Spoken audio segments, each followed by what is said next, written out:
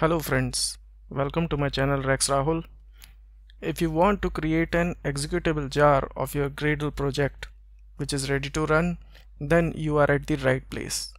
In this video, we will learn about creating a fat jar using Gradle. Fat jar is also known as an executable jar which has all the dependencies required to run it. So let's get started.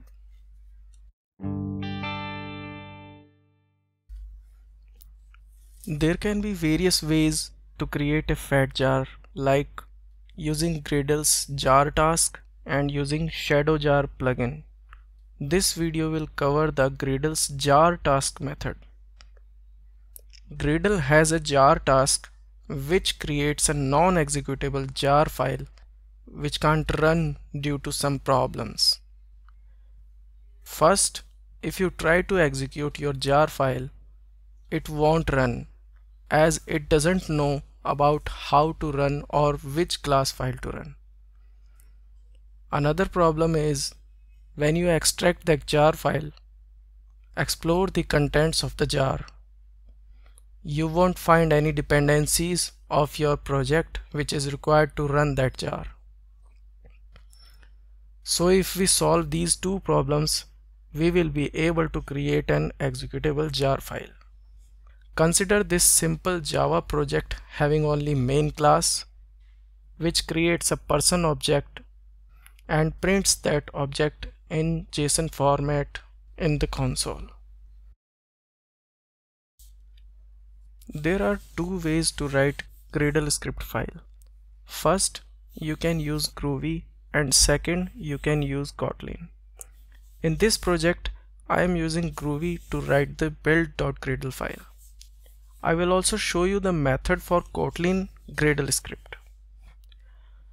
So to solve the first problem of no main manifest attribute where jar doesn't know about project's main class, go to your build.gradle file. Inside the jar task, add manifest information of your main class like this. If you don't have a jar task, simply add it you will have to give the fully qualified name of the main class here. Now generate a new jar using Gradle build. Try to run that jar. Now if your project doesn't have any external dependency then your jar file will run but if your project has some external dependencies then it may complain for not having those jar file and throw no class definition found error. So to add dependencies in your jar file, go to your build.gradle's jar task and add this piece of code to collect all the runtime classpath dependencies and add in the jar file. After this, again run Gradle build to create a new jar file and try to run it. It should run successfully.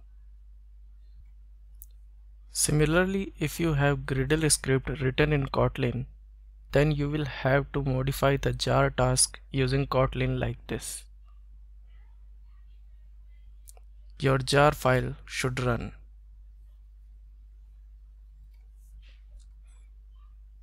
That's all for this video. If you like my video, please subscribe to my channel Raks Rahul.